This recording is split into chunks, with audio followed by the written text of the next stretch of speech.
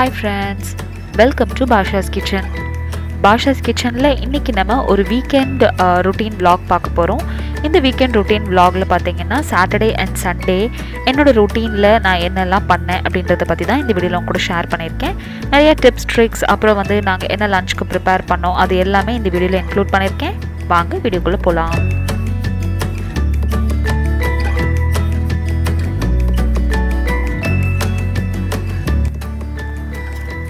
Week டேஸ்க்கு தேவையான காய்கறி எல்லாம் நாங்கள் சாட்டர்டே அன்னைக்கே போய் வாங்கிட்டு வந்துட்டோம்.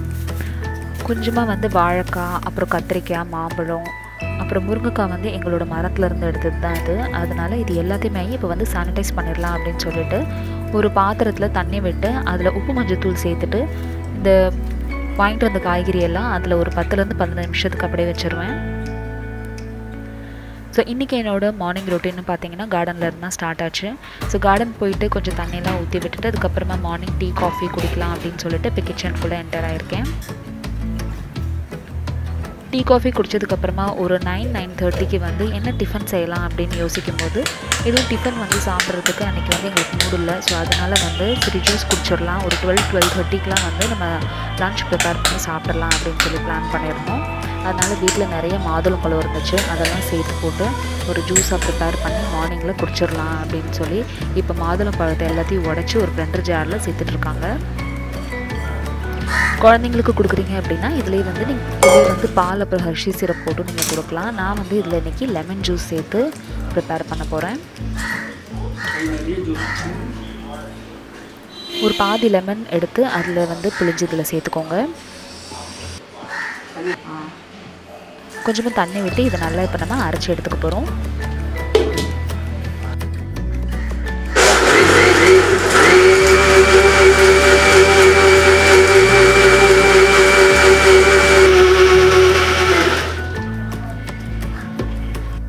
நல்லா அரைப்பட்டதுக்கு அப்புறமா ஒரு ஃபில்டர் வச்சு இந்த மாதிரி ஃபில்டர் பண்ணிக்கோங்க.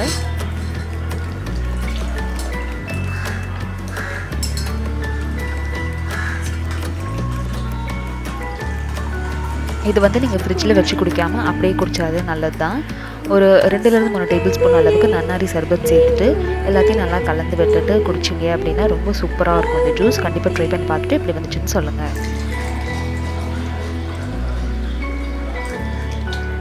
ஸோ என்னோடய மார்னிங் பிரேக்ஃபாஸ்ட் இந்த ஜூஸ் தான் ரெடி ஆயிடுச்சு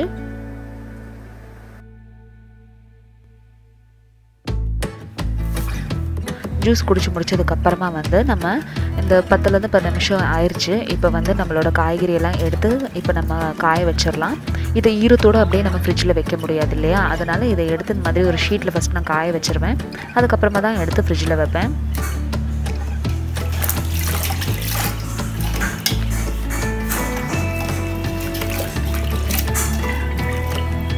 ஸோ வெளியிருந்து காய்கறிகள் வாங்கிட்டு வரீங்க அப்படின்னா இந்த மாதிரி நீங்கள் வந்து டெய்லி பேசிஸில் அதில் சானிடைஸ் பண்ணிடுங்க. மறுபடியும் அதை வந்து நம்ம குக் பண்ணும்போதும் திருப்பி கழுவி அதுக்கப்புறமா தான் குக் பண்ணணும். அடுத்ததாக வந்து இன்றைக்கி எங்களுக்கு கொஞ்சம் வந்து மார்க்கெட்லேருந்து சிக்கன் கிடச்சிது. அதனால் நாங்கள் ஒரு ஒரு கிலோ அளவுக்கு சிக்கன் வாங்கிட்டு வந்துட்டோம். சண்டே அன்றைக்கி ப்ரிப்பேர் பண்ணிக்கலாம் அப்படின்னு சொல்லிட்டு. ஸோ இதுக்காக இப்போ வந்து ஒரு பாத்திரத்தில் சிக்கன் போட்டு அதில் வந்து உப்பு மஞ்சத்தூள் சேர்த்து நல்லா கழுவி எடுத்து வச்சிட்ருக்காங்க. இது வந்து இன்றைக்கி நான் சமைக்க போகிறதில்ல இன்றைக்கி வந்து நான் சாம்பார் தான் செய்ய போகிறேன்றதுனால சிக்கனை நல்லா இந்த மாதிரி மஞ்சளில் போட்டு வாஷ் பண்ணிவிட்டு ஒரு கண்டெய்னரில் போட்டு வச்சுக்குவோம். இது வந்து நான் ஃப்ரீசரில் வச்சுருவேன். ஸோ நெக்ஸ்ட் டே மார்னிங் எடுத்து வெளியே வச்சுட்டு ஒரு டூ ஹவர்ஸ்க்கு முன்னாடி வெளியே எடுத்து வச்சுட்டு சமைப்பேன். ஸோ எப்பயுமே நான்வெஜ் ஸ்டோர் பண்ணும்போது இந்த மாதிரி ஏர்டைட் கண்டெய்னர்ஸில் போட்டுட்டு அது வந்து நல்லா க்ளோஸ் பண்ணிடணும் தண்ணி இல்லாமல் அதுக்கப்புறமா அதை எடுத்து வந்து ஃப்ரீசரில் வச்சிடணும். ஃப்ரிட்ஜில் வைக்கக்கூடாது. ஃப்ரீசரில் வச்சிட்டிங்க அப்படின்னா அதோட ஃப்ரெஷ்னஸ் வந்து அப்படியே ரீட்டைன் ஆகும். டூ த்ரீ டேஸ்க்கு அப்புறம் அதை ஓப்பன் பண்ணி சமைச்சிங்கன்னா கூட அதோடய ஃப்ரெஷ்னஸ் வந்து அப்படியே இருக்கும்.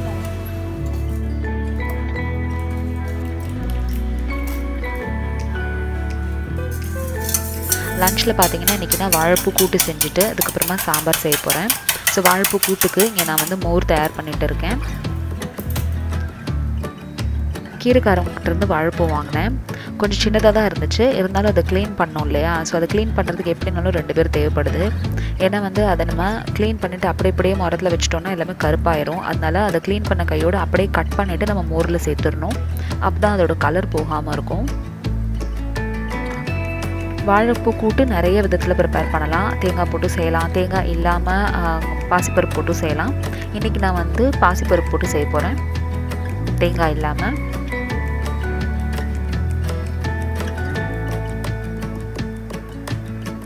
இந்த வாழைப்பூவை ஆஞ்சி எடுக்கிறதுக்கே ஒரு மணி நேரத்துக்கு மேலே ஆயிடுச்சு ஸோ இதுக்கப்புறம் தான் என்னோடய லன்ச் ரொட்டீன் நான் ஸ்டார்ட் பண்ணேன். லஞ்சில் நான் ஏற்கனவே சொன்ன மாதிரி சாம்பார் அப்புறம் வாழைப்பூ கூட்டு செஞ்சுட்டேன். அந்த ரெசிபீஸ்லாம் உங்களுக்கு வேணும்னா கீழே டிஸ்கிரிப்ஷன் பாக்ஸில் லிங்க்கில் பாருங்கள் அதோடு சேர்த்து ஒரு ஸ்வீட் ரெசிபி ஒன்று ப்ரிப்பேர் பண்ணலாம் அப்படின்னு சொல்லிட்டு ஸ்வீட்டில் வந்து இன்றைக்கி நாங்கள் ரவா கேசரி ப்ரிப்பேர் பண்ணலாம் அப்படின்னு பிளான் பண்ணியிருந்தோம்.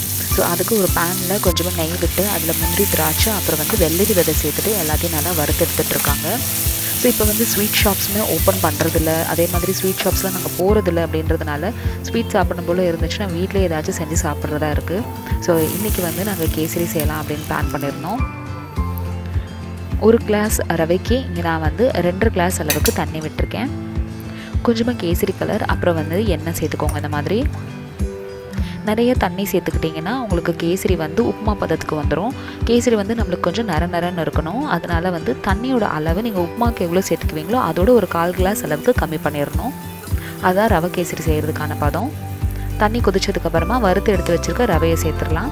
ரவை வந்து இங்கே ரோஸ்டட் ரவை தான். இருந்தாலும் நான் வந்து ஒரு டீஸ்பூன் அளவுக்கு நெய் விட்டு நல்லா ரோஸ்ட் பண்ணி எடுத்திருக்கேன். அப்போ தான் நம்மளுக்கு ரவை கேசரி நல்லா டேஸ்டியாக வரும். அதே மாதிரி நம்ம வந்து ரவையை சேர்த்ததுக்கு அப்புறமா நம்ம ஃபுல் ஃப்ளேமில் இல்லை மீடியம் ஃப்ளேமில் வைக்கக்கூடாது. லோ ஃப்ளேமில் வச்சு தான் வந்து இந்த ரவை கேசரி நம்ம ப்ரிப்பேர் பண்ணணும். இப்போ எல்லாத்தையும் நல்ல மெதுவாக அந்த மாதிரி கிளறி விட்டுட்டே இருங்க. ரவை நம்மளுக்கு வேகணும். தண்ணியெலாம் சுண்டி இந்த ஸ்டேஜில் வரும்போது நம்ம இதில் அடுத்ததாக சக்கரை சேர்த்துக்கலாம்.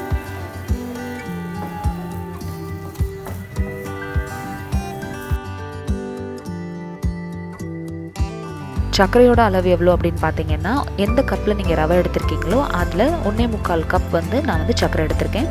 நிறைய ஸ்வீட் சாப்பிட்றதுக்கு உங்களுக்கு பிடிக்கும். ரொம்ப தித்திப்பாக இருந்தால் தான் எனக்கு கேசரி பிடிக்கும்னு நினச்சிங்கன்னா ஒரு கப் ரவைக்கு ரெண்டு கப் சர்க்கரை நீங்கள் சேர்த்துக்கலாம்.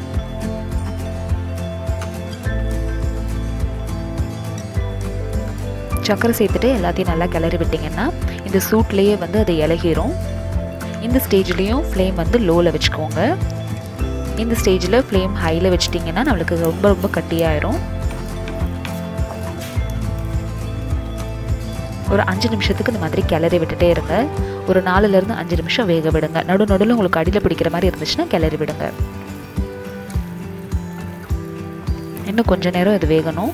நம்மளோட ரவை வந்து நம்மளோட பேனை விட ஆரம்பிச்சிடணும். அப்போ வரைக்கும் இதை நீங்கள் கிளறி விட்டுட்டே இருங்க லோ ஃப்ளேமில் இதுக்கு ஒரு எட்டுலேருந்து பத்து நிமிஷம் ஆகும். ஒரு எட்டுலேருந்து பத்து நிமிஷத்துக்கு அப்புறம் பாருங்கள் நம்ம அல்வா பதத்துக்கு வந்து நல்லா நம்மளோட கேசரி இந்த மாதிரி திரண்டு மேலே வரும். நம்மளோட பேனை வந்து விட ஆரம்பிச்சிடும் பாருங்கள் இந்த பத வந்த உடனே வந்து ஃப்ளேமை ஆஃப் பண்ணிடுங்க அவ்வளோதான் நம்மளோட ரவா கேசரி தயாராகிருச்சு இந்த ரெசிபி நீங்களும் ட்ரை பண்ணி பார்த்துட்டு எப்படி வந்துச்சு அப்படின்றத எனக்கு கமெண்ட் செக்ஷனில் சொல்லுங்கள் அண்ட் இந்த வீடியோ உங்களுக்கு பிடிச்சிருந்துச்சுன்னா இந்த வீடியோக்கு ஒரு லைக் கொடுங்க. சேனல் ஃபஸ்ட் டைம் பார்க்குறீங்கன்னா கண்டிப்பாக சப்ஸ்கிரைப் பண்ணுங்கள் இறக்குற ஸ்டேஜில் ஒரு ரெண்டு டீஸ்பூன் அளவுக்கு நெய் சேர்த்துட்டு அதை இறக்கி விட்டுருங்க.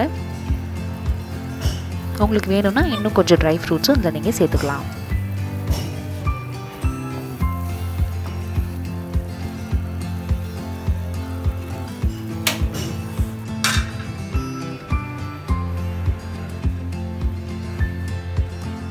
இப்போ லன்ச் டைம் வந்துருச்சு. வாங்க சாப்பிட்லாம். சாப்பாடு வடிச்சிட்டு அதில் வந்து கத்திரிக்காய் முருங்கைக்காய் போட்டு சாம்பார் பண்ணியிருந்தேன். அப்புறமா வாழைப்பூ கூட்டு செஞ்சுட்டேன். ஒரு ரெண்டுலேருந்து மூணு பெப்பர் அப்பளம் வந்து வறுத்துட்டேன். அவ்வளோதான் இதுதான் நாங்கள் லஞ்சுக்கு சாப்பிட்டோம். இந்த லஞ்ச் காம்போ நீங்களும் கண்டிப்பாக ட்ரை பண்ணி பாருங்கள்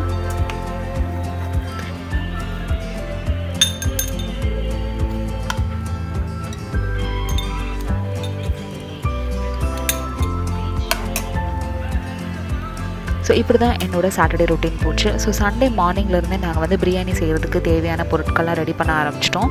ஸோ பிரியாணி மட்டும் எப்போயுமே வந்து பார்த்திங்கன்னா பன்னெண்டு மணிக்குள்ளேயே நான் சமைச்சிருவேன். ஏன்னா அப்போ தான் வந்து நல்லா தம் ஆகி நம்மளுக்கு வந்து பிரியாணி நல்லா டேஸ்டியாக இருக்கும். ஸோ மார்னிங் எழுந்ததுலேருந்தே என்னோடய பிரியாணி ரொட்டீனை வந்து நான் ஸ்டார்ட் பண்ணிட்டேன். ஸோ இன்றைக்கி வந்து நாங்கள் ஆம்பூர் ஸ்டைல் சிக்கன் தம் பிரியாணி வீட்டில் ப்ரிப்பேர் பண்ணலாம் அப்படின்னு பிளான் பண்ணியிருந்தோம். ஸோ அதுக்கு தேவையான ஜீரக சம்பா அரிசி அப்புறம் சிக்கன் எல்லாமே நம்ம ஏற்கனவே ஃப்ரீஸ் பண்ணியிருந்தோம் இல்லையா? அதை எடுத்து இந்த மாதிரி வெளியே கொஞ்சம் நேரம் வச்சுருந்தோம். ஸோ இந்த ஃபுல் ரெசிபி வந்து ஸ்டெப் பை ஸ்டெப் ப்ரொசீஜராக நான் இன்னொரு ஒரு வீடியோவில் உங்களுக்காக போஸ்ட் பண்ணியிருக்கேன். அந்த வீடியோ நான் வந்து கீழே டிஸ்கிரிப்ஷன் பாக்ஸில் கொடுக்குறேன். நீங்கள் வேணும்னா ஓப்பன் பண்ணி பார்த்துக்கலாம். பாஸ்மதி அரிசி செய்கிறதுக்கும் ஜீரோ சம்பா அரிசி செய்கிறதுக்கும் நிறைய டிஃப்ரென்ஸ் இருக்குது ஜீரோ சம்பாவில் வந்து நிறைய நம்மளுக்கு எண்ணெய் குடிக்கும். அதே மாதிரி கொஞ்சம் நல்ல மசாலா நிறைய போடணும். பிரியாணி தம்மில் ஏற்றின உடனே பார்த்தீங்கன்னா சென்னையில் நல்ல மழை பெய்ய ஆரம்பிச்சிருச்சு. ஸோ நல்ல மழையில் வந்து சுட சுட பிரியாணி சாப்பிட்டது ரொம்ப சூப்பராக இருந்துச்சு. பாருங்கள் நம்மளோட ஆம்பூர் ஸ்டைல் சிக்கன் தம் பிரியாணி தயாராகிருச்சு இந்த பிரியாணிக்கு இன்றைக்கி நான் சைட் டிஷ்க்கு ராய்த்தா அப்புறம் வந்து முட்டை அவிச்சிட்டேன். நல்லா சாப்பாடு பொழு பொழுதும் நல்லா டேஸ்டியாக வந்துச்சு.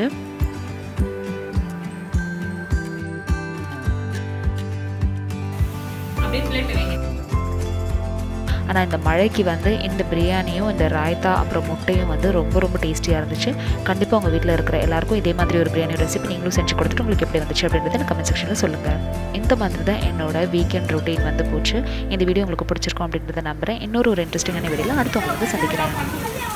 தேங்க்யூ ஸோ மச் ஃபார் வாட்சிங் பாய்